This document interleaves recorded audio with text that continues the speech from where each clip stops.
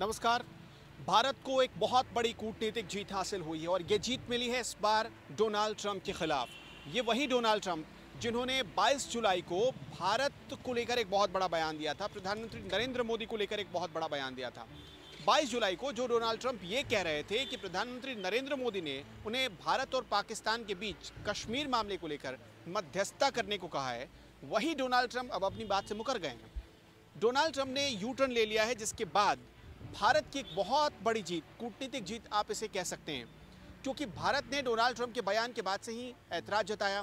भारत के ऐतराज़ के बाद व्हाइट हाउस पर, व्हाइट हाउस को इस पर सफ़ाई देनी पड़ी थी। व्हाइट हाउस ने तब भी ये स्पष्ट किया था कि डोनाल्ड ट्रंप के कहने का इरादा ये नहीं था। और तब स्पष्टीकरण में ये भी कहा गया था कि मध्यस्थता उसी शर्त पर की जाएगी जब दोनों देश आपस में राज़ी हो जाएँ यदि भारत और पाकिस्तान दोनों सहमति दें। जिसके बाद डोनाल्ड ट्रंप को करारा तमाचा तभी लग चुका था। लेकिन अब, जब लगातार कई देशों ने आर्टिकल 370 हटाने के बाद भारत सरकार का या मोदी सरकार का समर्थन किया है, भारत का समर्थन किया, तब डोनाल्ड ट्रंप को अपने बयान से यू टर्न लेना पड़ा। आप इसका मतलब समझिए, एक तो पहले अमेरिका ने भारत को आर्टिकल 370 पर ख़त्म करने को लेकर, जो पाकिस्तान की शिकायत थी, उस पर क्लीन चिट दे दी। भारत के फैसले के साथ अमेरिका खड़ा नज़र आया। दूसरी बड़ी चीज़ हमने देखा कि यूएन में कई देशों ने, जो यूएन की की महाशक्तियाँ थीं, उन्होंने बल्कि भारत का समर्थन कर दिया यूएन में और इसका भी भारत को बहुत बड़ा फ़ायदा हुआ।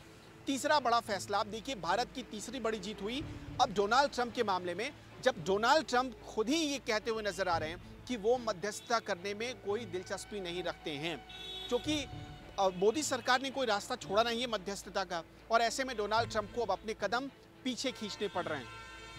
आपको ये भी बता दें कि जो भारत के राजदूत हैं अमेरिका में, उनकी तरफ़ से यह स्पष्टीकरण किया गया कि व्हाइट हाउस ने स्पष्ट कर दिया है कि जब तक दोनों देश आपस में सहमति नहीं बना लेते, तब तक किसी भी सूरत में मध्यस्थता नहीं की जा सकती है और डोनाल्ड ट्रंप मध्यस्थ नहीं बनेंगे। अब इसमें एक और पहलू भी है। आप जो विदेशी जानकार हैं या जो हमारे राजदूत हैं, उनकी तरफ़ से ये भी स्पष्ट किया गया है कि अमेरिका के कदम के बाद या अमेरिका के इस बयान के बाद ये साफ़ हो गया है कि तब भी जब इमरान खान के सामने डोनाल्ड ट्रंप बोल रहे थे, उनके, उनमें कोई ऐसा इरादा नहीं था कि वो मध्यस्थता करें, लेकिन पाकिस्तान ने इसे बढ़ा चढ़ाकर पेश किया गया। पाकिस्तान में जैसे होली दिवाली मनाई जाने लगी डोनाल्ड ट्रंप के बयान को लेकर, और उसके बाद जो भारत ने फैसला लिया, जो अपना रुख जताया, या भारत ने अमेरिका के खिलाफ कोई नरमी नहीं बरती इसी का नतीजा है कि डोनाल्ड ट्रंप जैसे कद्दावर नेताओं को या दुनिया के सबसे ताकतवर मुल्क के नेता होने के बाद भी उन्हें अपने पाँव पीछे खींचने पड़ रहे हैं। डोनाल्ड ट्रंप को भी पता है और पूरी पूरे अमेरिका को ये पता है कि आर्टिकल 370 ख़त्म करना या जम्मू कश्मीर हमेशा से भारत का आंतरिक मामला रहा है और अमेरिका ने तो पहले अभी हालिया के स्पष्टीकरण में ये बात ज़ाहिर कर दी थी, जिसके बाद डोनाल्ड ट्रंप ने ये फैसला किया कि वो अब अपने ही बयान को वापस लेंगे। इस यू टर्न के बाद जो डोनाल्ड ट्रंप ने लिया, वैसे डोनाल्ड ट्रंप यू टर्न लेने के लिए भी मशहूर हैं। कई उनके बयान, आपने ये देखा होगा कि विदेशी मीडिया में काफ़ी सुर्खियाँ बटोर चुकी हैं। बाकायदा जो अमेरिका की एक न्यूज़ एजेंसी है, उसने तो यहाँ तक उनकी पूरी रिपोर्ट छाप दी थी कि 8000 से ज़्यादा झूठ डोनाल्ड ट्रंप बोल चुके हैं। तो अब ये साफ़ हो गया है आठ हज़ार मामलों में यू टर्न भी ले चुके हैं, झूठ भी बोल चुके हैं। ये वहाँ की न्यूज़ एजेंसी पहले ही प्रकाशित कर चुकी थी।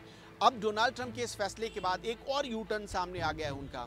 और भारत को सीधे सीधे डोनाल्ड ट्रंप की तरफ़ से क्लीन चिट दे दिया गया है।